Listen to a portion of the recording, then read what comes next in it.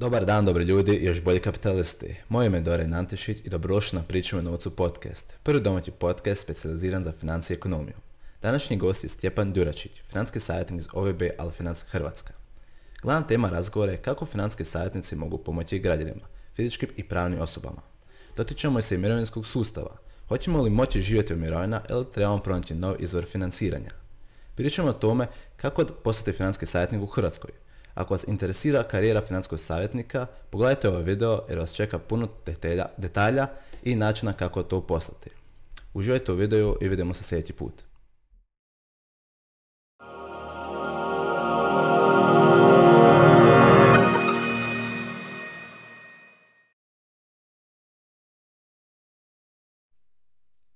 Pozdrav Stjepane, dobrodošla u Pričamo novcu podcast, nadam se da si dobro. Ovaj, za gledatelje koji te ne znaju, ti si financijski savjetnik u OVB, e, pa bi se mogao pre, predstaviti malo kratko našim gledateljima. A, može da pače, ćeš samo karijeru u OVB-u ili prije, znači nije problem. Pa možeš i od prije isto malo da idu pozadinu. Pa evo, dakle, uh, nisam bio dakle, cijeli život u financijama, ali to sam shvatio da mi je strast i da se tu mogu jako dobro razvijati i na kraju sam tu završio. Prije možemo to malo sažeti, dakle, završio sam geodetsku školu uh, srednju u Zagrebu, nakon toga sam dakle bio uh, završio bakalarus dakle, za informacije i komunikacije, znači točni informacijski komunikacijski promet na prometu i nakon toga sam se pronašao u financijama. Bilo je različitih iskustava prije, dakle, četiri godine u telekomunikacijskoj industriji, nakon toga obrazovno, zatim u marketing industriji, sad na kraju i recruiting industrija. A paralelno dok sam dakle bio u tim nekim firmama, sam se također kao side job razvijao u OVP-u jer ovdje imamo veliku mogućnost dakle, da ljudi koji možda žele otkriti da li se o njima krije financijski planer, financijski savjetnik, mogu kao dodatan posao krenuti ovo raditi i polako učiti jer imamo jako dobru prekvalifikaciju, jako su dobre edukacije, tako da ljudi koji nisu možda ekonomskog backgrounda ne moraju imati straha, već jednostavno mogu naučiti jer ljudi dakle, koji ovdje podučavaju taj cijeli dio imaju jako puno godina iskustva u ekonomiji i financijama i jako dobro znaju prenesti svoje znanje. Tako sam između ostaloga ja krenuo, evo skoro će biti godine kako sam ovdje, gdje sam napredovao dakle, na prvu poziciju u managementu kao financial advisor za OVB Hrvatska i gdje mogu reći da sam zaista zadovoljan svojim poslom i da mi jako velika zadovoljstvo da mogu pomagati ljudima dakle, u njihovim financijskim planiranjima i dakle, da sam se pronašao apsolutno tu i da mi je to jako dobro. A, bi mogao pojasniti gledateljima što su financijski savjetnici? Nema problema, dakle, financijski savjetnici, to je financijski planeri, dakle, radi jedan sveobuhvatni dio dakle, gdje ljudima pokušavaju napraviti jedan cijeli paket usluga, biti dakle, njihova dugoročna osoba u njihovim svim financijskim segmentima, gdje se osobe, dakle, klijenti mogu osloniti na njih. Dakle, bilo da ljudi žele doći prije recimo do svoja četiri rizija, dakle, do svoje vlastite nekretnine, pa su im potrebni dakle, neki kvalitetni otplatni planovi za kredite, bilo da žele napraviti nešto kvalitetno za svoju mirovinu jednog dana, jer znamo da je situacija sa mirovinama jako loša, diljem Europe, ne samo u Hrvatskoj, pa da im je potreban tu savjet kako bi mogli imati puno bolje za sebe, ili da su u pitanju neke investicije, ili da su neke banalne stvari poput dakle, uh, osiguranja svojih imovina, automobila, djece, dakle, dakle sve, cijeli obuhvatni paket gdje oni mogu i vidjeti ok, uh, kao što bi recimo došli klijenti kod nas, razgovaramo s njima, vidimo koji su im ciljevi i onda im napravimo plan kako bi ih doveli do njihovih ciljeva, kako bi oni to mogli realizirati da ne misle da su sami na cijelom tom tržištu, jer malo kad pogledamo tržište, ima jako puno dakle, stvari na tržištu. A ljudi možda nisu upućeni gdje bi to moglo biti dobro. Mi tu za njih analiziramo sve to, dakle, proučavamo tržište za njih, radimo dakle analizu cijelih situacija, da li bi im nešto bilo profitabilno, da li bi im bilo preriskantno ili ne, da li bi im bilo znači, sigurno, fleksibilno, dakle sve te stvari mi stavimo u jedan kalup, provjerimo i onda ih sugeriramo najbolje dakle, proizvode na tržištu, to je najkvalitetnije a, jesu, imate fizičke osobe većinom ili su i pravne osobe koje traže od vas?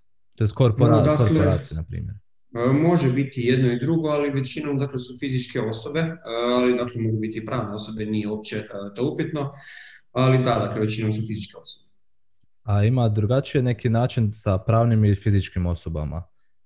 Pa postoji dakle razlika u radu, znači jer ovisi dakle kakav je dakle fizički dio ili identitet pravni, znači o čemu se tu radi a i koje su dakle obuhvatne stvari koje možemo, ali to dakle moramo individualno proći, malo bi bilo previše znači za generalni taj dio gdje moramo individualno vidjeti dakle kakva je situacija, što recimo pravna osoba želi, da li želi napraviti neki sveobuhvatni dio za sve svoje ljude, da im možda ne znam, želi dakle pomoći kako da lakše dođu do svoje, ajmo uzeti primjerice mirovine ili želi osigurati od nezgode, pokazati brigu i na taj način, ili neki drugi elementi, naravno dakle i kroz fizičke osobe. Jer na kraju krajeva, mislim, to možemo usporediti recimo koji sa uslugom doktora. Dakle, kad vi dođete tamo, prvo vam napravi doktor pregled, pa vam dakle, postavi dijagnozu, propiše vam lijek, i ako se dakle držite računog lijeka, to jest recepta, doći ćemo do zdravlja, tako. Tako radimo i kod nas, dakle napravimo analizu klijentu, dakle na temelju analize napravimo procjenu stanja, izradimo individualni koncept ljudima da bi došli do svog ostrenja cilja. Bilo je to sad neki generalni dio pravne osobe ili fizičke osobe. A kod fizičkih osoba, e, koja je dobna skupina najčešće? Da li su to ljudi prije mirovine ili posebno ljudi između 30 i 40 ili čak možda već studenti dolaze? Pa vidi, to je dosta, ajmo reći na neki način, delikatni dio. A, što ljudi naravno prije dođu na neki sastanak dakle, s nama, to im je lakše pomoći. Jer uzmimo sad primjer, dakle, ljudima u odmakloj životnoj dobi koji bi se možda htjeli nešto za mirovinu, dakle, još privremeno recimo štedjeti, mimo njihovih, dakle, mirovina koje će dobiti, dakle, održane kroz mirovinske fondove, to je već jedan manji prostor za manevar, dakle, jer vrijeme igra jako veliki ulog u investicijama. Mislim da si sam svjestan, dakle, i kroz Bitcoin i kroz neke druge stvari, što je vrijeme veće, tu možeš više, dakle, si naravno prihoditi novaca i svega. Naravno, od dakle, ostalih čimbenika, faktora koji su tu, ali što više imamo vremena, to možemo bolje pomoći. ima dakle i starijih osoba.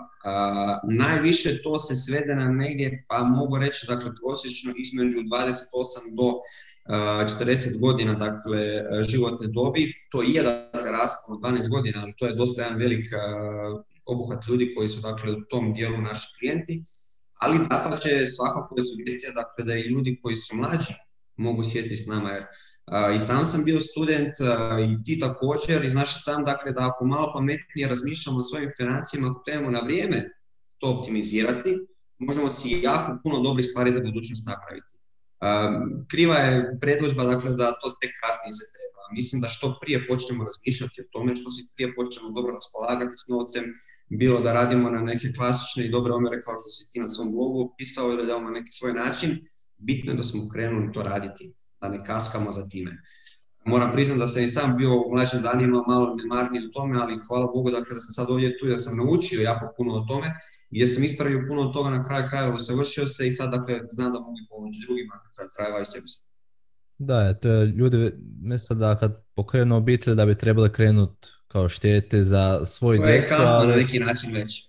Zaboravio da će one biti isto starije, e, sami pojedinci, ali što prije počnu, da li počne, na primjer, nakon fakulteta ili omah ako ne ide na fakultet s 18 godina, između 18 i 28 što si pričao, to ima ovaj 10 godina, to ono 120 mjeseci gdje se može e, kamatna stopa davati jedno na drugo i povećavati iznos. Ono, 10 godina je, se može poduplati sam iznos. Ali rekao se između 28 i 40 godina, to prepostavljamo onda kada ljudi već započinju obitelj. Da, e, smatram ono što ti dakle, baš malo rekao da je to na neki način već kasno. Zašto je? Pa ne trebaš da imati obitelj da bi ti počeo razmišljati o budućnosti, pa kreni prije već razmišljati tim stvarima. Rasporedi, se već prije neke elemente, jer e, što se prije krene o tome razmišljati, nije, nije flosko reći da je pravo vrijeme bilo već jučer. Jer, znaš i sam, dakle, sam se rekao sad tu je već 10 godina već, znači 120 mjeseci, tu već kamatna stopa mogu utjecati. Nije isto ako ti sad, na primjer, ne znam, štediš 10 godina i padne ti kamatna stopa na iznos da si uštedio već tu 5000 euro, ste krenulo sa 1000 eura da si već uštedio. Znači nije isto na koji će iznos pasti novac. ne treba se tebi roditi dijete kao nekoj osobi da bi ti onda krenuo štediti za djecu. Možeš, možeš i prije krenuti razmišljati o tome. Uzmimo primjer, možda si prije rođenja djeteta, uzmimo sad tu jednu kalkulaciju, mogao štediti za dijete 600 kuna. Sa rođenjem djeteta to se smanjuje, naravno, dakle su nove potrebe. Znači automatski da ćeš manje moći štedjeti. Dakle, ni prije ću moći veći iznos, kasnije ću to smanjiti. Postoje fleksibilnosti dakle, na tržištima određenim proizvodima, jer to je isto tako bitna stavka, dakle, i dakle, kolika je fleksibilnost na određenom proizvodu. Da, e, to je svakako što se prije krene s time, to je sigurno biti bolje, ali koliko su tako klijenti je. upoznati s financijama prije nego što dođu na, na ovaj sastanak? E, to, je, to je znanstvena fantastika, moram tako reći. Uh, mi mislim imamo jedan veliki problem sa financijskom pismenošću, ne samo u Hrvatskoj, i diljem Europe. I njima je abstraktno sama činjenica, primjerice, naša profesija. Uh, da njima netko želi pomoći, u stvari njima već odmah to nešto ne valja. Tu nešto ne valja.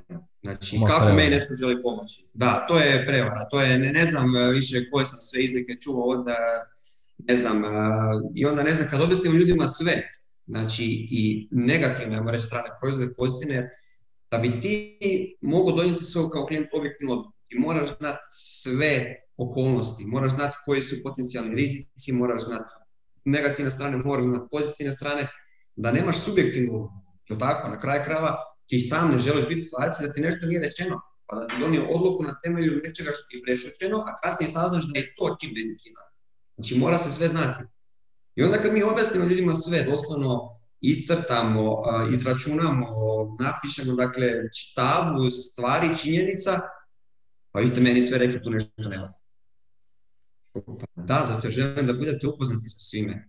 Ne, ovdje je sigurno neka kvaka, ja sad moram vidjeti, nije, nije moguće da ste mi sve tako objasnili. Rekao, pa zašto? Pa obično kad dođemo u neku instituciju, to je kad mi se, neću sad imenovati dakle, institucija, ali nema veze, dođe osoba tamo, traži da se pojasni, jako teško je ljudima laički pojasniti. Većinom se nažalost susrećemo s time da su ljudi to naučili, hajmo reći, na pamet i kad netko dođe, ne znam, hajmo reći, u banku ili negdje drugdje i traži da im se to pojasni, teško se e, tamo ljudima koji rade prilagodi, dakle, jer neki jednostavno ne shvaćaju, moraš doslovno ono, ko guide for dummies, objasnim, dakle, pojasni ljudima sve, spusti se na taj nivo da bude skroz laički, skroz pojednostavljeno, da osoba shvati to.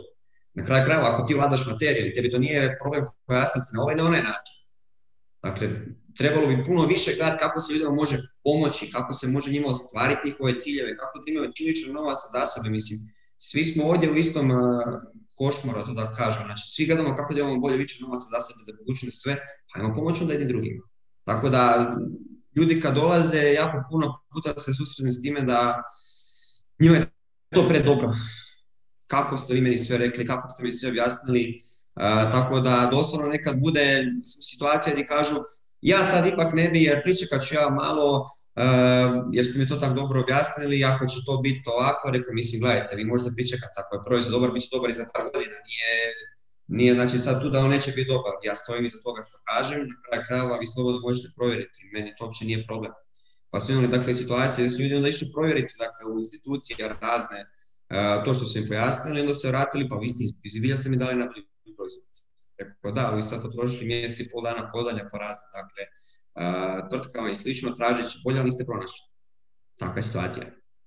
Da li misliš da je to bilo zbog nekih prijašnjih E, prijašnjih razloga da nemaju takva povjerenja ili je to čisto samo do ljude? Pa mislim da je jedno i drugo.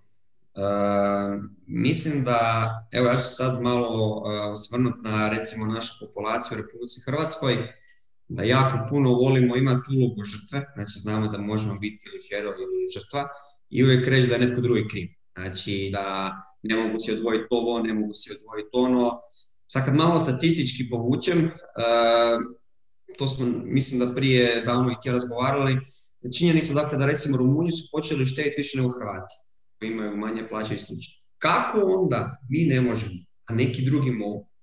Činjenica je recimo kada sad osvrne na Rumunjsku da ona po BDP-u polako raste prema vrhu tablice Europi, jer su ljudi počeli dugoročno puno kvalitetnije razmišljati.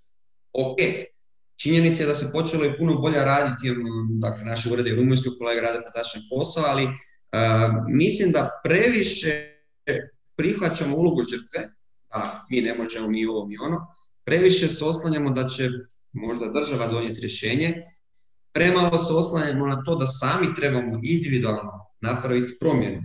I ako ti kao individualac želiš sebi nešto bolje dugoročno, onda ti trebaš i napraviti tu promjenu.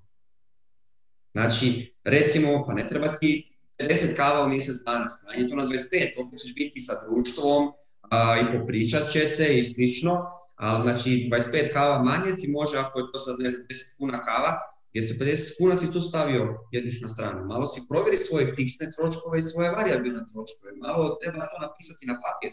Vidjeti šta je osobi cilj. Ako tebi stvarno cilj da jednom dan imaš i kvalitetan život, ajmo reći u mirovini, pa onda moraš razmišljati na vrijeme o tome. Znači, ne trebaš onda kažem popi 25 kava više, popi 25 manje. Ne trebaš toliko, ne znam, slatkića popiti, ne trebaš toliko, ne znam, cigareta, ne trebaš toliko ima majica i za 100 kuna, ne treba se platiti 300 kuna, koja je isto lijepa i dobra i odjevni predmet, bit će ti topla i tako dalje, a ti ćeš onda moći na kratkoročno rasporediti sebi za neku možda štenju na dugoročno. Tako da opet taj dio koji sam sad zadnje rekao je i vlastita edukacija, dakle ljudi gdje nisu dobro upoznati s tržištem, a isto tako imali su loše iskustva. Znači, nisu im nekad bile stvari dobro komunicirane, ali i ljudi često nisu strpljivi ljudi većinom nažalost čekaju da će preko noći dobiti nešto. Nećeš. znači, to bi stvarno moralo biti, mislim da se slažeš sa mnom, jako rizično ulaganje, gdje ćeš ti možda sutra dobiti ne znam kakvu situaciju. na kraju kraja opet ako želiš nešto preko noći postoji Euro Jackpot, Loto 7 na 3 koji već je i tako dalje, pa probaj, APP, rizik je velik. Da, rizik u smislu, znači, šansa dobivanja 1 naprama x, Znači, mora biti dakle, nešto što ima vremena, opet se vraćamo na taj dio. Uh, nema strpljenja, ne znam, možda si netko i štedi nešto, kad smo već na tome, ali ne pričeka krajnji datum, nego se uzima novac prije. I bit će, je, ja sam oplatio toliko, dobio sam toliko, pa, ali nije ni bila namjena da prije Taj proizvod, recimo, on imao fleksibilnost, ali ta osoba nije bila upoznata možda od strane dakle, osobe koja mu je to sugerirala nešto da uzima si prije da će imati manje. Mislim da su ljudi bili prije upoznati sa svim stvarima jasno i transparentno, da bi puno drugačije gledali na sve to. Jer mislim, stavi se sam dakle u kožu netko nije nešto rekao jedan put, pa drugi put, pa treći put i sad ti sve nešto kaže, opet bi ti bilo čudno, kako se jedan put mi sve netko govori. Da li smatraš možda da prevelik broj proizvoda utječe da ljude premalo uzimaju. To je onaj paradoks odluke. Pa je. Previše izbora i onda toliko izbora ne izabereš ništa. Uh, je, to se zna dešavati. Uh, uzmimo primjer recimo da si u dućanu, voliš čokoladu, ja obožavam na primjer i sad sam tu pred cijelim redom čokolade, slatkiša, uh, koju ću ja sad uzeti? Ja bi sad sve to uzeo. Pa i ova mi je fina, pa i ova mi je fina. A sad vidim da je ova tu i taj ne znam, ta i onda je ostatak polica takav, ne znam, nešto mi se možda manje maka, tu. Ali opet e, tu sad e, taj dio treba biti e, bolje koncipiran, dakle ljudi moraju znati šta žele. Često, mislim, mislim često, zna se dogodi dakle, da mi ljudima sugeriramo njima najadekvatniji proizvod, pitaju zašto, zašto nismo taj ponudili.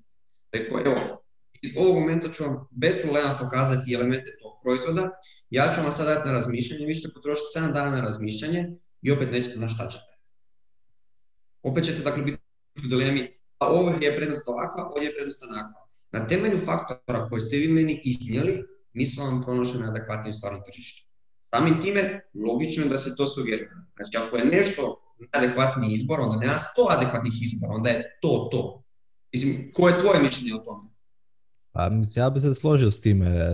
Ako, ako osoba kako treba objasne svoju poziciju, onda bi trebalo financijski savjetnik već znat na temelju toga, kad naprave malo duže vide sve strane, da li da to najbolje za nju. Ili makar onako tri ideje pustite, da. čisto da izaberu.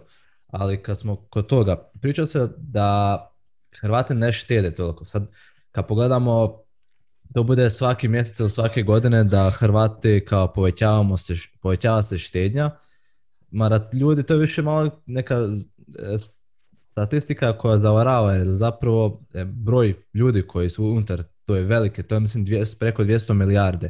To je zapravo manji broj jer mislim da isto onako par posto drži većinu toga. Ali većina Hrvata je zadužena, kućanstva su jako zadužena.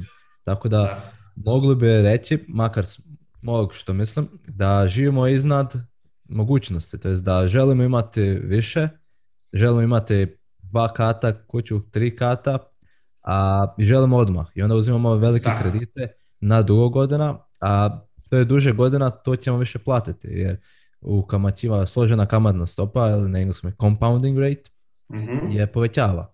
Znam da ako uzmemo kredit e, na 30 godina plaćamo sigurno nekih tri puta više nego što smo dobili. Ali ako uzmemo na 15 godina, znači omah na manje, plaćamo puno, puno manje od toga. Tako da znam da je ve- već je, veća je ovaj, e, više plaćamo mjesečno. Ali Stoji. mislim da, je, da bi osobe koje uzimaju takve kredite, naročito za kuću, trebale znati, treba gle- gledati to, da što, što sada više pate, budući da plaćaju više mjesečno, to će im u budućnosti biti bolje, jer neće trebati raditi do 60. i vi- više, samo da otplate kredit. Da, e, da tu, tu je bilo par elemenata koji se naveo i slažem se s njima. E, Jedni, jedni jesu djelomično diskutabilni u smislu da, znači ako ti imaš duži kredit, realno ti bi bit će oplatio. Ali sad, ako si ti na vrijeme sebi krenuo optimizirati novce, ako si ti sebi na vrijeme krenuo to raspolagati kako treba, znači ako si ti sad recimo to razdužio, tebi je mjesečna rata manja, tako? Znači neće ti biti, ne znam, 4000 kuna, će šta ja znam, 2300. Ti si dobio 1700 kuna viška, ajmo reći viška. Imaš neki kvalitetan proizvod koji tebi daje dugoročno dobru kamatu, još si mjesečno odvajaš, ti možeš opet u dobroj situaciji prije zatvoriti kredit. Znači opet ga možeš presjeći prije, znači oplatiš samo znači, onaj dio posto glavnice i na neki način si kamatu zadrži u sebi. Opet ni- nisi toliko onda uplatio masi, samo što onda ljudi to naprave pogrešku da nemaju kvalitetno raspolaganje novcem prije. Taj korak nisu dobro napravili. I onda to što, što kažeš, što se slažem, se previše zaduže. Ako su krenuli na vrijeme razmišljati o tome, u smislu da si i kratkoročno odvajaju novac kojim bi mogli privremeno stvoriti kredit i dugoročno imaju neku kvalitetnu kamatu koja će im dugoročno to množiti, e tu imaju recimo dva pasivna dobra prihoda s kojim mogu prije razbiti to. A nemaju toliko opterećenja na mjesečnim budžetu. To je isto recimo gdje premalo razmišljaju i premalo vode računa. Da, znači, na neki način isto Hrvati ne štede, a štede. Jedan mali postotak ljudi drži veliki dio novca, možemo doći na one 80-20 uh, principa rada i slično, uh, ali isto je problem što i kad se štedi, štedi se obično na krivim mjestima. Znači neki proizvodi poput, sad ću ga imenovati stambena štednja, koji su prije bili fantastični proizvodi, sad više nisu, jer recimo državna, državni podsjej pao na svega 0,3%, ljudi dalje drže tamo novac. Zašto? Znači, državna subvencija na to ti je pala na 0,3%, kamata je plus minus nula. Čemu tu držati novac? Postoje bolji proizvodi na tržištu. Gdje ti možeš e, puno bolje, onda šta se dešava? Ljudi štede pet godina, ne znam, tako nekom proizvodu pa uzmu novac, pa opet štede pa uzmu novac. I onda ti si svako malo na nuli. Nikako nemaš tu svoju amplitudu i ćeš dugoročno imati puno više. Moraju biti upoznati gdje se to može kvalitetnije napraviti. A, to, to su, da, previše se zadužuju, ali premalo, kao što sam rekao, naprave predradnji prije, da bi to mogli prije otplatiti, da bi opet si mogli zadržati dovoljno novaca u džepu. Misliš li da, Jednostavno, a? da, Hr- da, da bi ljudi trebali planirati, da bi trebali gledati gdje se oni vide sebe u, u 10 godina. Jer onda, Da. ako što si pričao, tih pet godina ne bi svako pet godina uzimalo, nego bi napravili okvirni plan u roku 10 godina i za veće financijske iznose bi znali točno što im treba, koliko im treba i koje bi mogućnosti mogli u tih 10 godina iskombinirati da ostvare te ciljeve. Tako je, tako je, s tim da, mislim, da, to što si rekao, dakle, isto moram se malo osvrnuti i živi iznad svoje mogućnosti. Da, jer svi žele isto, kao što si rekao, smo složili, žele sad i žele odmah. A daj malo strpljenja, jako smo nestrpljivi. I sad, da li je tebi bitno da ti želiš sad i odmah, ili ćeš polako to malo razdužiti, pa će ti biti opet dugoročno bolje i tebi, i tvojoj djeci, i tvojim budućim naraštajima. Jer, ako mi individualno promijenimo razmišljanje, promijenimo način raspolaganja sa vlastitim novcem, mi ćemo onda generacijski promijeniti razmišljanje.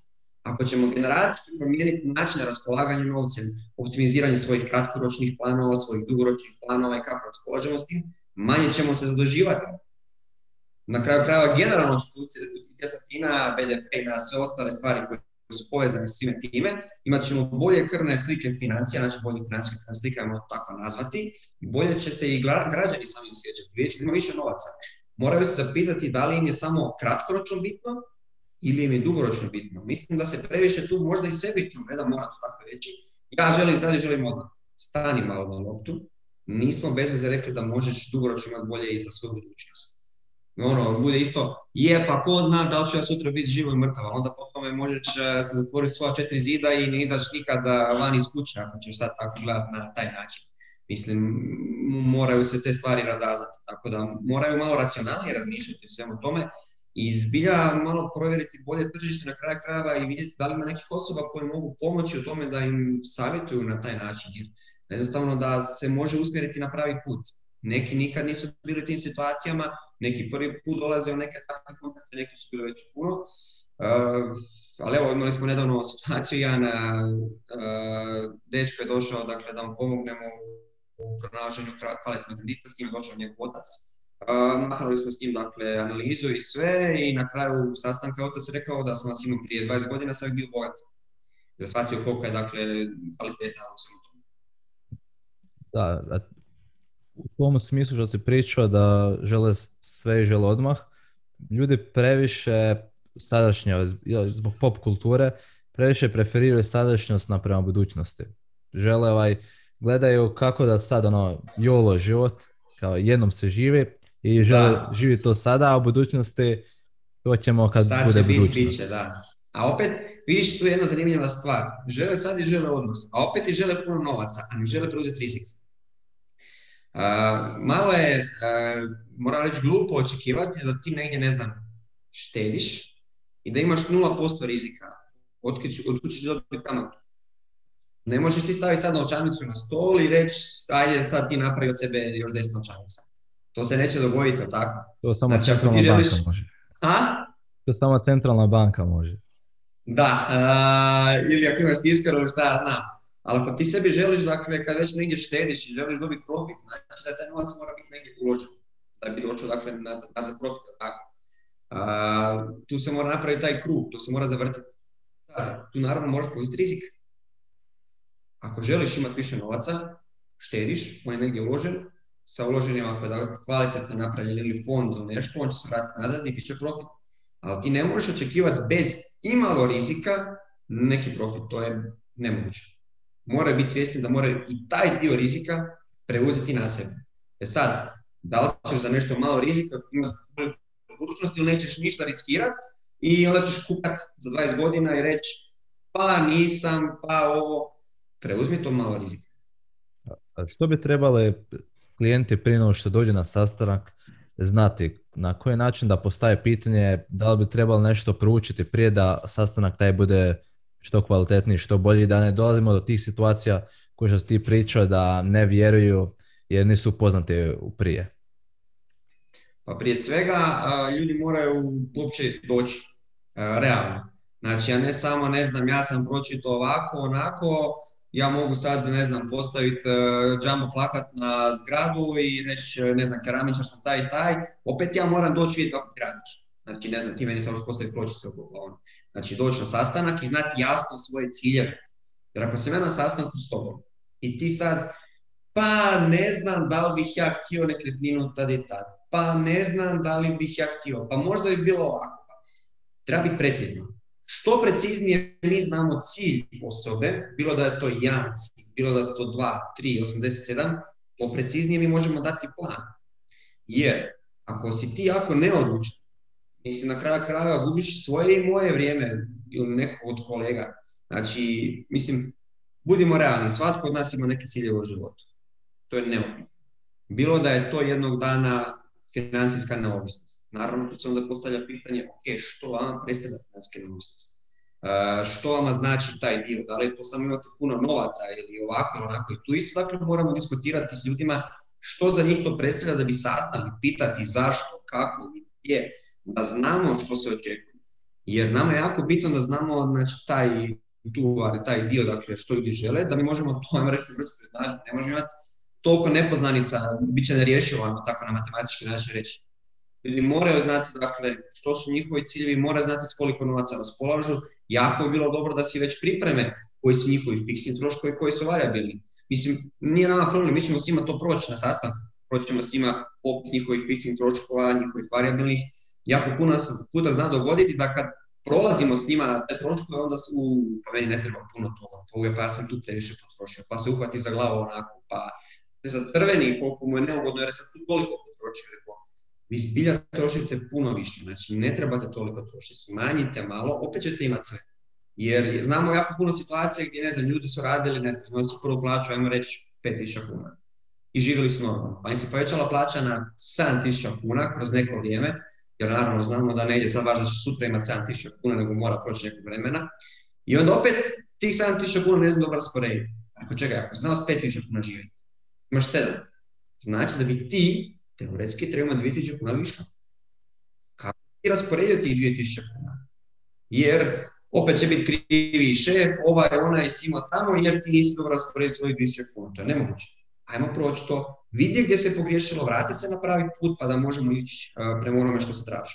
Da, na, najčešće Mislim, uzmu odmah ovaj, čim se poveća plaća, bolje leasing ili bolje kredit na auto ili tako nešto. E, upravo si možda reći da se vidi taj status, da se poveća status. Da, bitno da ja imam Audi A6 ili nešto i to je to, a sad doma šta se dešava i koliko sam minus ili nešto, što se isto jako loše odluke otići u minus, jer su naravno samo velike kamate na tim stvarima i kako sam si ja to posložio, manje bitno. Bitno da sam ja baja pa da se čuje muzika i sve, a sad šta će biti za pet godina, potom potom. Da. Koje je tvoje mišljenje? Pa ja sam slažen s time. Ja, ja sam s otoka, ja volimo i štediti, tako da... tako, tako, da vam Bodulija se ovaj, zna kakva je. Ovaj, ali koji su klijenti, e, to koji je glavni cilj klijenata? Da li su većinom mirovine, da li su neka štednja za djecu, da li je kuća? Vidi, najčešće je to nekretnina. Uh, mi bi svi Hrvati imali 15 nekretnina pa da možemo 14 iznajmljivati, možda i ovu 15 pa mi ćemo se naći neku malu šupu tamo da budemo u tome. Uh, mislim, tako to obično bude razmišljanje, ali tu isto onda preko svojih mogućnosti. Najčešće nekretnina. Je li nekretnina za, za vlastito življenje ili za iznajmiti apartmane ili u, u gradu onako da za vlastito življenje, nakon toga dolazi onda nekretnina za iznajmiti, onda će se tek razmišljati obično o djeci ili mirovini, što je reći isto paradoks, bi trebali o tome razmišljati puno prije.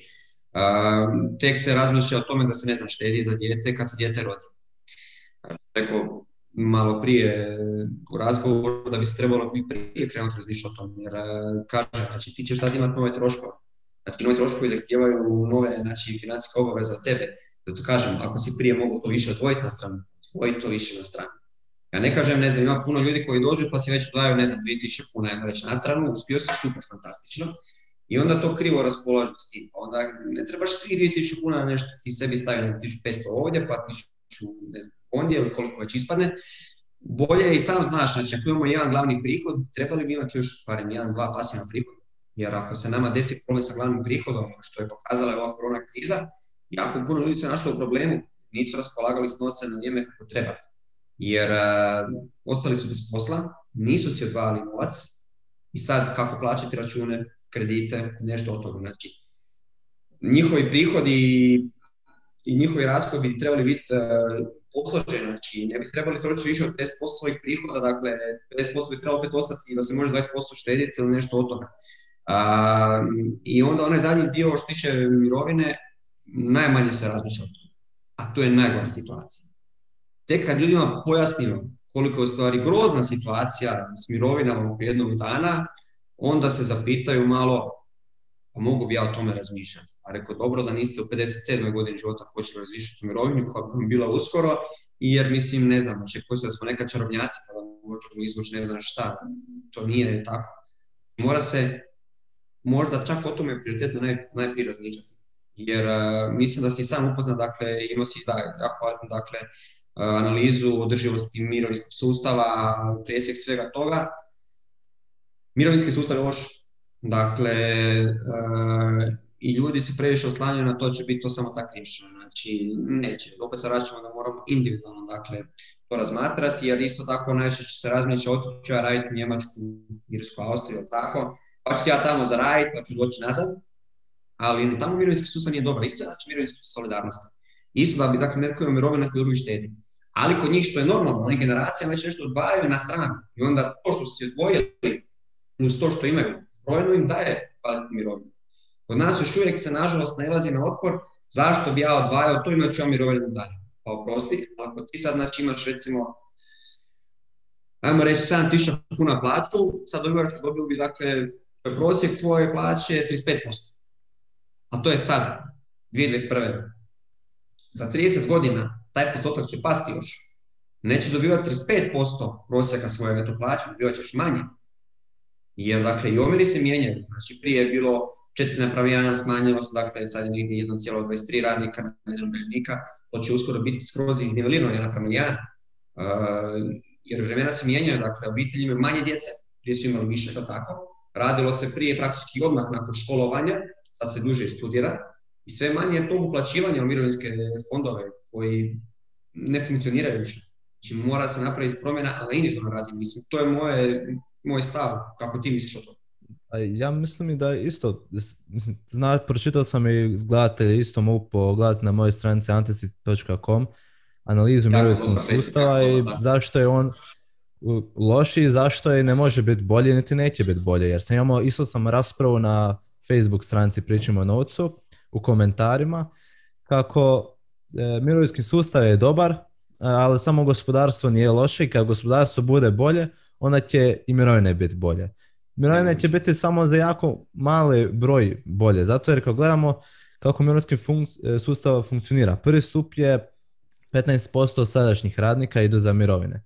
15, još 5% ide kroz fondove. Fondovi imaju jako mali prinos. Fondovi je to isto paradoks jer fondovi uložu, ulažu u obveznice države, a prinos na obveznice je samo velik ako je ekonomija loša jer onda je veći, veći premija. Ako ekonomija bude dobra, onda će prinos ići e, dolje. To je znači paradoks. Znači prinose fondova niti ne može biti bolje ako bude bolje, to je loš gore za nas, znači, jer znači da je naša ekonomija gora.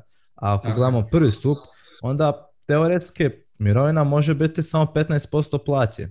Jer ako prvi stup odlažu pet, e, izdvajaju 15% od plaće, onda plaća može biti samo 15%. Tako da plaća nikad neće biti više od ono sve 35, a 35 je samo zato jer država uplaćuje 44%. E, znači mirovinski prvi, prvi mirovinski stup je 56% plaće, rashoda plaće. Znači država već iz drugih poreza, tako da Hrvati zapravo ne izdvajaju 20% plaće, nego još više izdvajaju, zato jer skoro polovica ide od proračuna. Ili od proračuna ili za oduživanje. Tako da još buduće generacije vraćaju, znači da ni sadašnji radnici nisu dovoljni, nego su budući radnici potrebni da sadašnje umirovljenike isplate. Da, Tako da, da. čini mi se da su Hrvati ili su previše optimistični ili previše ne razumiju kako funkcionira mirovinski sustav? Pa dosta ne razumiju, dosta ne razumiju. Uh, mislim, ja osobno bi rađe da dobijem, daj mi sam novac na ruke, ja ću si ga sam rasporediti bolje. Sam ću si naći bolji investicijski proizvod i će mi dati puno veću mirovinu jednog dana nego što ću dakle dobiti državu. Iskreno, uopće ne čekam da ću doživjeti mirovinu dana. Sam si želim stvoriti da imam dakle nešto od čega ću živjeti. To što će biti od mirovine, to će biti kao neka dodatna zarada. Realno. Upravo to, Jer... upravo to. Gledatelji bi trebali razmišljati da prije je bilo da je mirovina glavni prihod, a investicija je sporedni, kao dodatno, da, kao bolji benefit života, ali sada, u buduć, sada i u budućnosti zapravo da je mirovina taj dodatni benefit kao džeparac, ali novci od štenje, od, investicije, ne štenje, nego investicije bi trebali biti glavni izvor prihoda u mirovini. Slažem se, mislim, isto tako i standard se mijenja Mislim, mi malo da pogledamo u prošlost, dakle, naši djedovi i bake, još uvijek se većinom živjelo i u ruralnim područjima, imalo se dakle svoje domaće životinje, povrće, voće, tako. Manje, ajmo reći, trebalo novaca u mirovini, iako se dobivalo teoretski, znači matematički više, ali stvari se mijenjaju. Znači jednog dana kad ćemo ti, ja ili netko od gledatelja koji su mlađi biti u mirovini, standard će biti puno veći. Zašto? Znači mi smo djeca tehnologije, možemo tako reći. Nama, dakle, kad ćemo biti uh, u mirovini će trebati i vjerojatno mobitel, i laptop, i ko zna koji će gadget još biti, dakle, troškovi će se mirovine i života tada povećati. Ako ćeš imati svoju nekretninu, ok, ne moraš plaćati stanarinu, su reže i dalje. Hrana i dalje. Luksus u smislu tehnologije, ako ćeš voziti gorivo. Ja sam već sad nabrojao, dakle, stvari koje bi iznosile oko 3,5 tisuće kuna mjesečno, sigurno. A većina ljudi neće imati toliko mirovinu. I žalosno je da ne razmišljaju o nekim kvalitetnim investicijama, bilo da je Bitcoin, bilo da su neki kvalitetni fondovi, neka kvalitetna, ne znam, životno osiguranje postaje kvalitetna za mirovinu i ljudi isto ne razlikuju te pojmove, znači imaš, ne znam, životno samo da ti za zdravlje brine, imaš da ti dupla novac, imaš, ima različitih proizvoda na tržištu, nisu počinjeni samo tome, mislim kad im spomeneš, ne znam, osiguranje, joj, to je samo za zdravlje, imaš različitih elemenata. A bilo da su neki bankarski proizvodi, znači ima jako puno stvari na tržištu, a uopće ne razmišljaju, kažem, znači, nama će se promijeniti životni standard broj. Da ne spominje, ne znam, i lijekove, ako ćeš možda nešto morati plaćati. Pa kako ćeš to izdržati?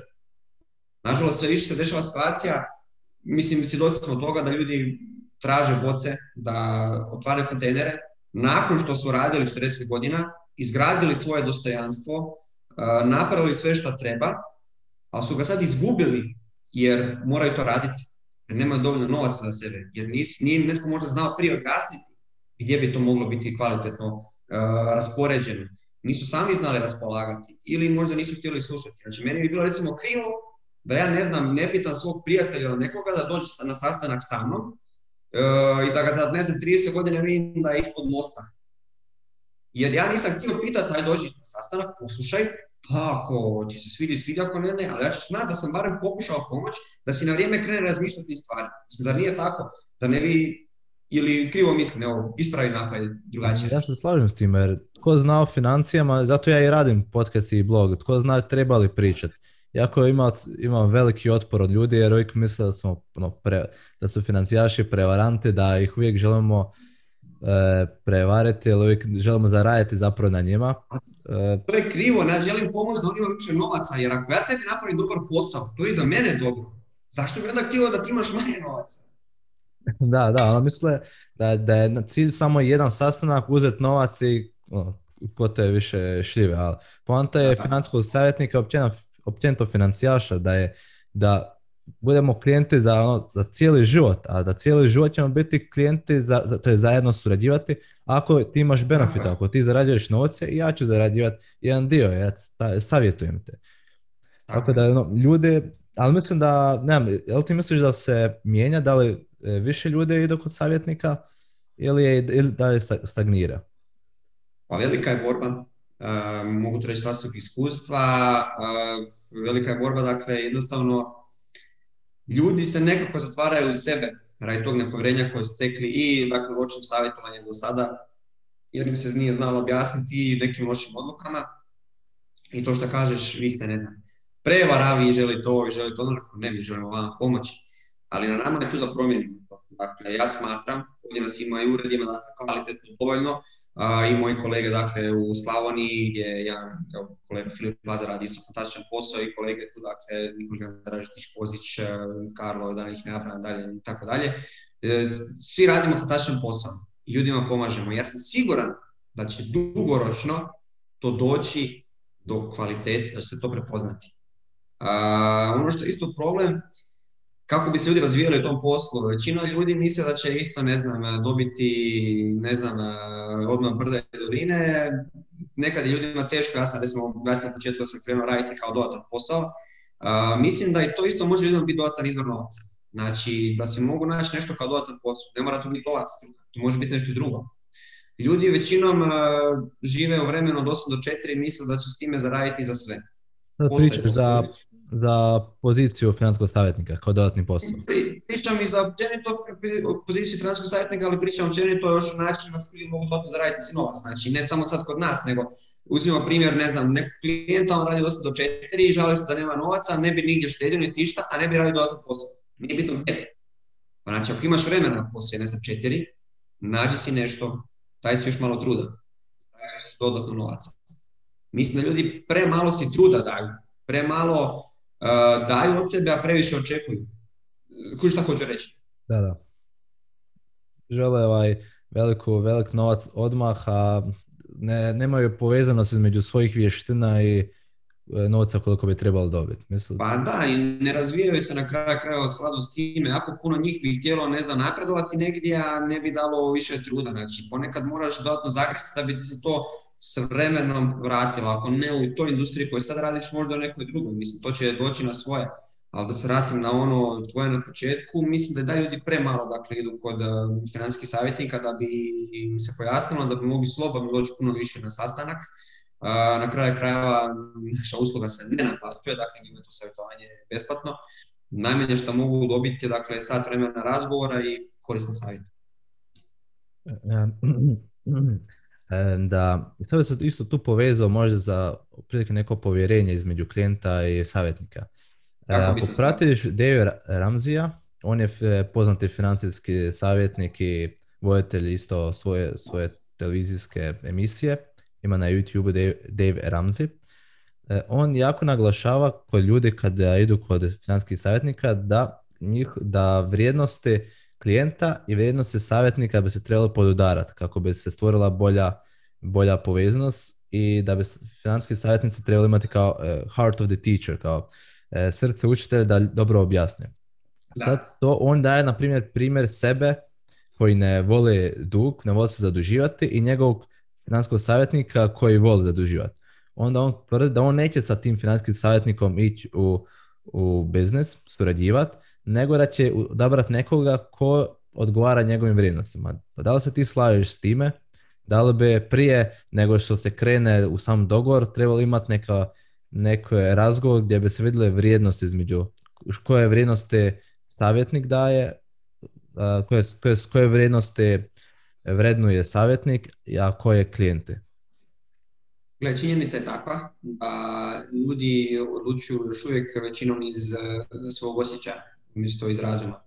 Uh, imao sam situacija gdje sam dakle, ljudima ne nacrto, ne objasnio, matematički pojasnio neke stvari fantastično, ali opet su vjerovali ne znam, nekom drugom jer mu vjeruju, a imali su lošiji proizvod. Uh, mislim da bi trebali malo bolje uh, rasporediti, ja reći, srce i um i da bi trebali malo bolje razastati. Slažem se da treba postojati povjerenje. Povjerenje je na kraju krajeva temelj bilo kojeg odnosa, bilo da poslovno, bilo da je privatno. Uh, jer znači, ja tebi mogu savjetovati nešto, ali ako ti misliš da ja pričam gluposti i da mi apsolutno ništa ne vjeruješ, džabe to je tako. Tako da svakako mislim da klijent i potencijalni savjetnik trebaju imati dakle i određenu dozu povjerenja. Uh, na kraju krajeva to će onda biti kvalitetna dakle, suradnja, dugoročna, jer recimo naša činjenica je dakle, da mi stojimo za naše klijente dugoročno. Ako tu nema povjerenja, teško ćeš imati klijenta dugoročno. Uh, tako da mislim da povjerenje mora postojati, ali i stručnost osobe. Dakle, na kraju krajeva ti ćeš dobiti povjerenje i svojom stručnošću, dakle i sa svojim dakle, kompetencijama, mi ćeš ljudima pokazati da znaš šta radiš. Može ti opet sad neko vjerovati da nema pojma šta radi, onda ćeš skući nakon nekog vremena da si ispao malo najvan čovjek, ali znači uh, treba dakle postati povjerenja, treba biti stručni element. Bar je tako moj dio, ne znam kako ti gledaš na to. Pa, da, oboje, oboje treba gledati, ali u konačnici dobro, on je, on je više pričao u vrijednosti kao na primjer donacije, on je pričao, on je kršćan i on će donirati crkvi, ako sad njegov savjetnik misli da je to glupost, onda im se neke vrijednosti ne pododaraju, da bi ne bi, da ne bi bio ali, ali opet je ono za duša se isto priča, tako da je prilike povezano s time, ali u konačnosti oboje treba vagati i vidjeti da koju situaciju je što dobro.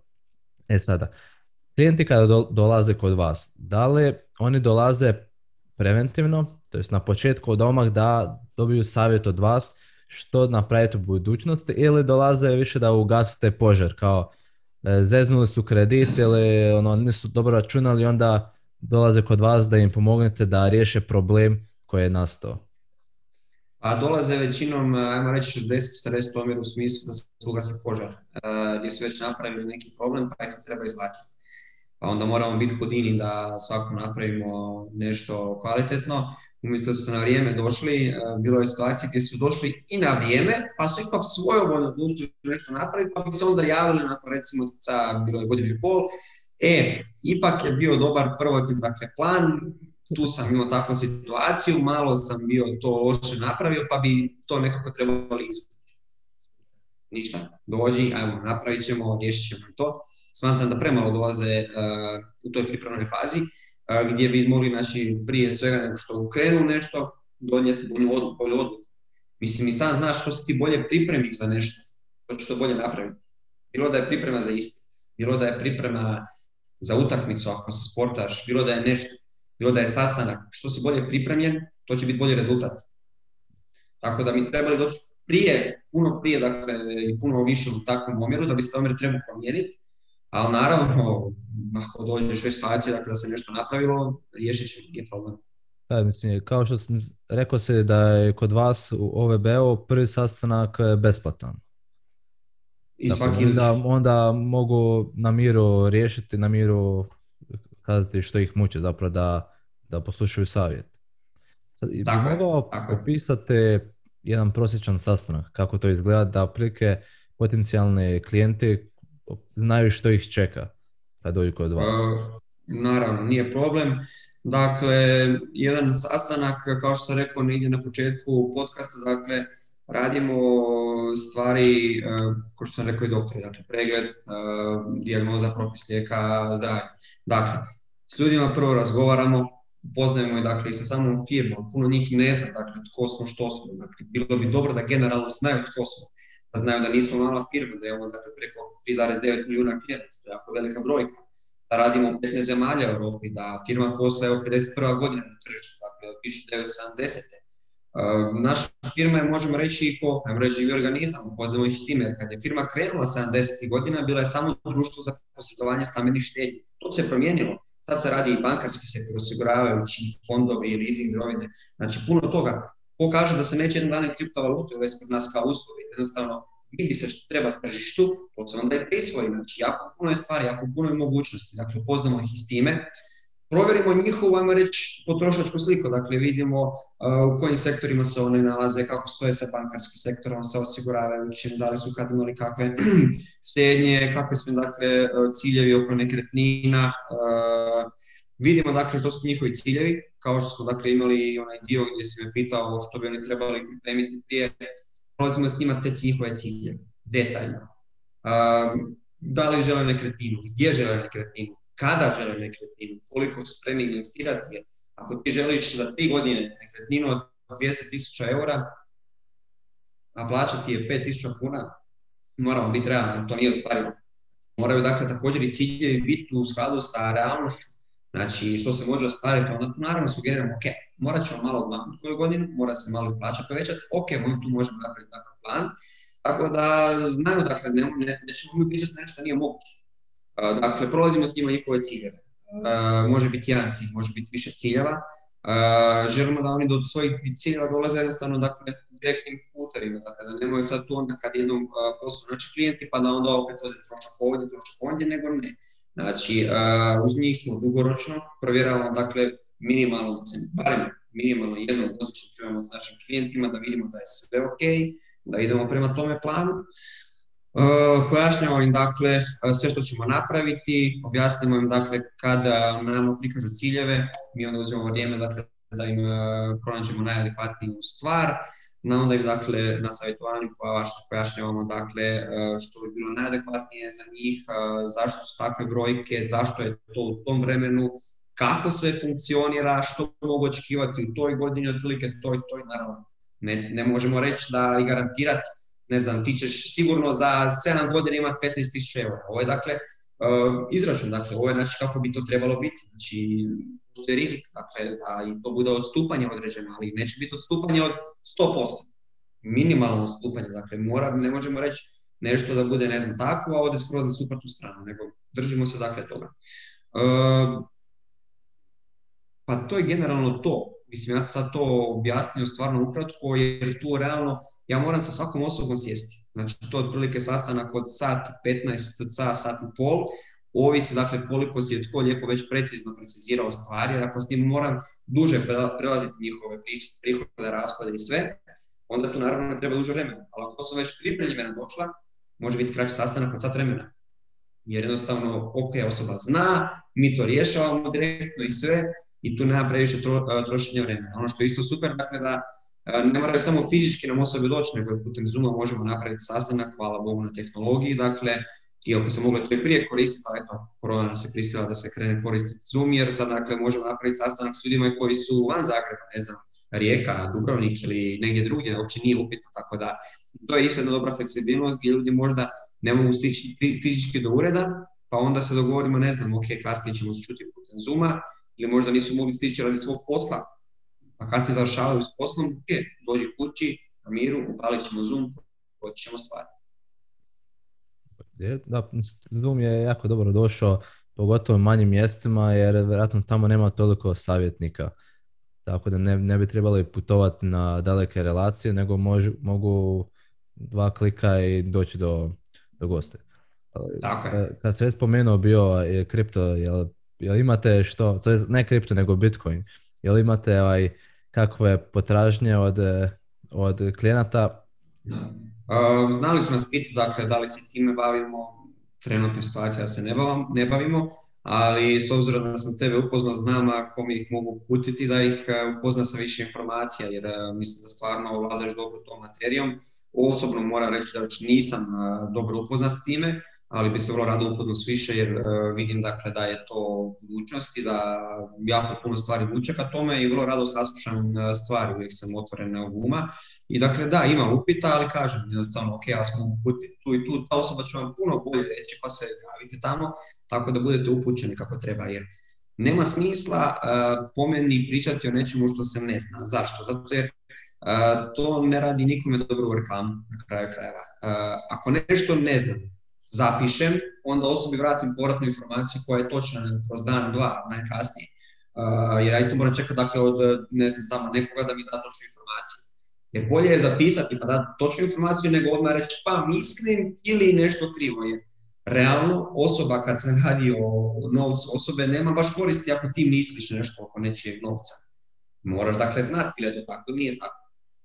Da, Moj pa stav. Je, je. S njim se slažem jer dosta, da to je, Bitcoin je jako mlado područje, 12 godina, tek je zapravo u, u popularan, to je poznati svijet ušao prije prilike 4 godine, tako da još jako puno ovaj, financijske industrije nije toliko upoznat s njime, ali mislim da, znam da je pratim dosta iz financijskih savjetnika u Americi, sad se sve više otvaraju poduzeća koje su baš specijalizirana da e, savjetuju financijske savjetnike kako bi oni mogli svoje klijente. Ili dajem neki software kako bi financijski savjetnici mogli e, klijentov novac upravljati kroz njih ili tako neke stvari. Tako da u Hrvatskoj još nema toga, u Hrvatskoj je još mlađa industrija, to jest nije mlađa industrija, ali je manja, puno manja industrija nego što je na zapadu. E, kod nas, da, kod nas e, radimo na kasni, kod nas jedino što je došlo na vrijeme, reći korona, sve ostalo kasnije. Da, da, to nas je blagoslovilo. ovaj, htio bi još samo kratko, ako bi mogao, jasnite kako bi išao neki individualni financijski cilj, to je plan za nekog pojedinca. E, na primjer, evo za mirovinu, pričali smo dosta o mirovini, pa kako bi vi ti s nekim klijentom isplanirao njegov plan za mirovinu? Ok, e, tu znači moramo vidjeti onaj osnovni dio s koliko novaca osoba raspoloži. Znači, ako sad ti, ne znam, imaš plaću, često znam vidjeti, moram se osvrnuti na to da se kaže prosjek plaće, sad mislim nedavno kada su rekli 7000 kuna neto, smatram da je to krivi izračun, da je on puno manji, da se treba maknuti neke menadžerske plaće slične, jer većina populacije živi između 5 do 6,5 s tim prihodima kad se pogledaju mjesta van velikih gradova i slično. Dakle, treba se prvo uzeti ovdje dakle, koji su fiksni troškovi koji su variabilni i onda napraviti, dakle, vidjeti koji je neki iznos novaca koji ljudima ostaje. Od tog novca, dakle, moramo raspraviti nešto na kratkoročno i na dugoročno. Dugoročno element gledamo sad za mirovinu. Ok, sad ti recimo imaš 400 kuna da možeš stavljati dugoročno, 200 na kratkoročno, tu smo napravili dvije dobre stvari.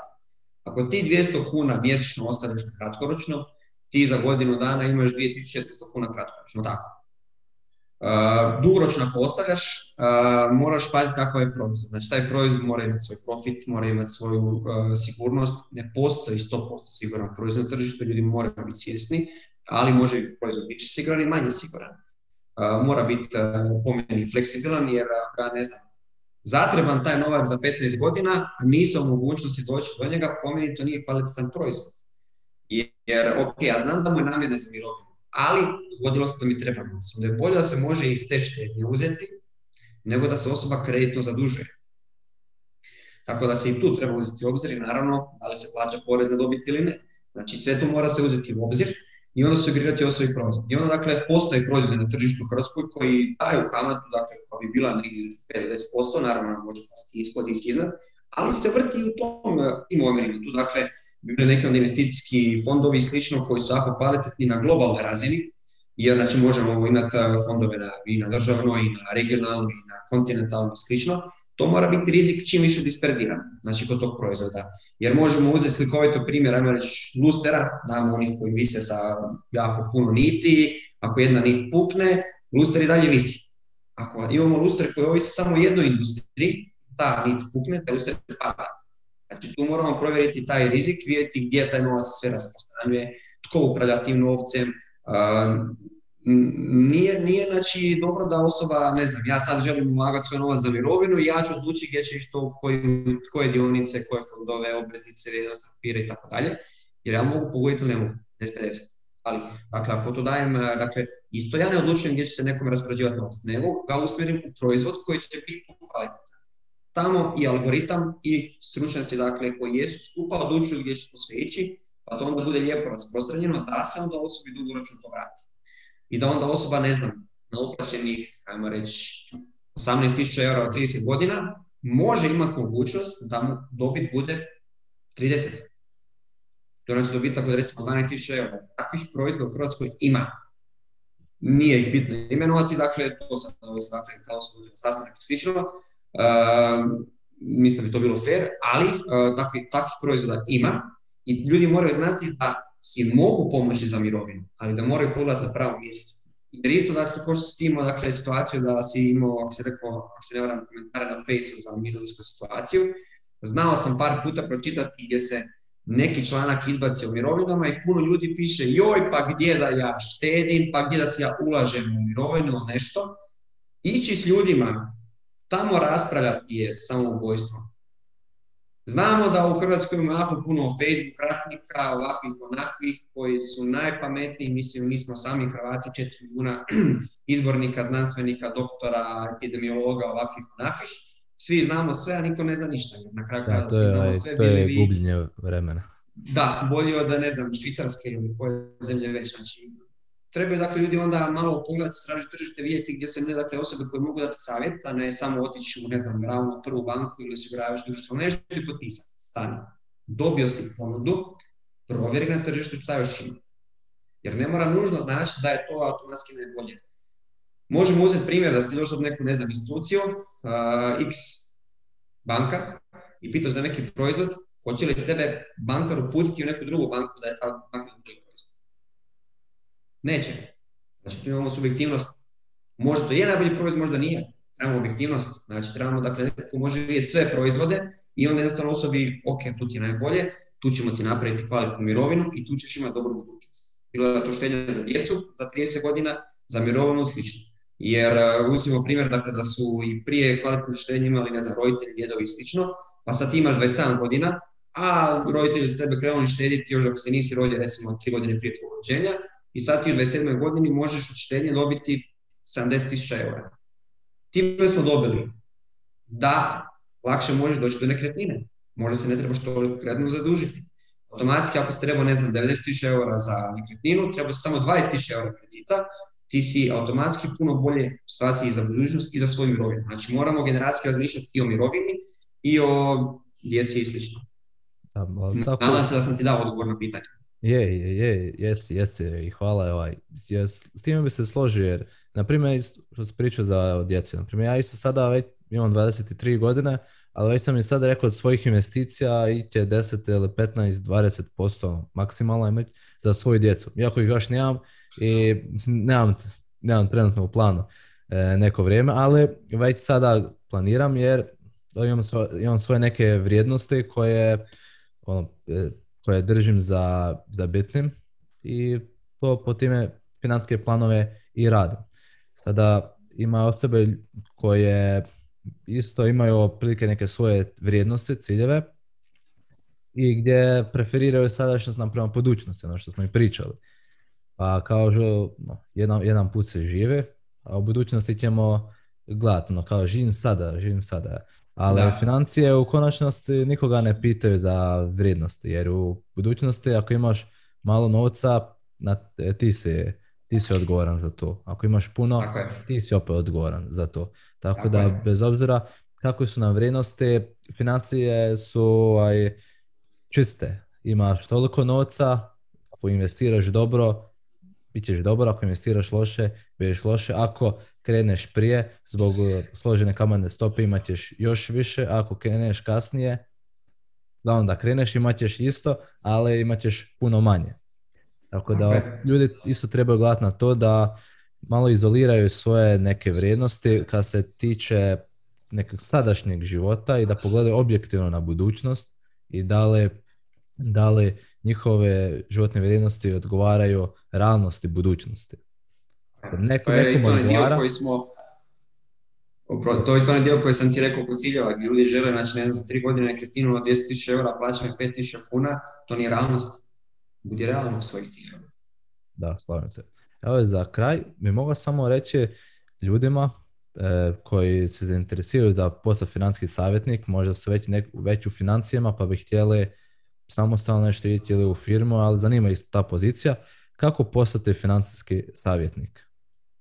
Dakle, kod nas je situacija da ljudi koji dođu prvo imaju jedan trening proces, dakle, koji traje otprilike 3 do 6 mjeseci, gdje se upoznavaju, dakle, sa različitim, eh, upoznaju sa različitim elementima na tržištu. Dakle, od načina kako razgovarati s ljudima, koje su ključna pitanja koja moramo postaviti da bi saznali ključne odgovore. Ti ključne odgovori su ciljevi kako bi ljudima mogli raditi dakle, njihove eh, financijske planove.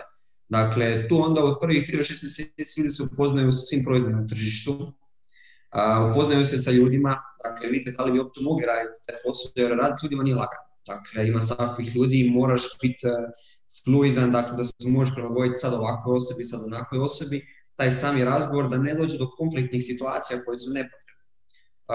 Dakle, imaju svog mentora s kojeg rade, jer jednostavno smatramo da je jako dobro da se počne raditi uz mentora, jer tu naučiš, vidiš kako se vodi, koje su bitne stvari, kako napraviti to, i u biti sve ono što radimo na edukacijama direktno i primjenjeno. Nažalost, edukacijski sustavi su takvi, znači u jako puno akademskih zajednica, srednjoškolskih slično, da većinom 80 do 90% stvari koji se uči su primjenjivi u 1737. godini, a svega 15 do 20% za 2021. Tako, za tržište koje se dakle traži. Mi dakle sve što radimo na edukacijama, što je meni pomoglo kad sam došao ovdje, sve primjenjujemo apsolutno je sve primjenjivo. Tu su dakle direktori koji imaju preko 15-20 godina iskustva u području financija i ekonomije, koji znaju tržištu šta je bitno i šta treba ljudima. Kad dakle učiš od takvih ljudi koji znaju prenijeti znanje, onda i naučiš i znaš pomoć drugima.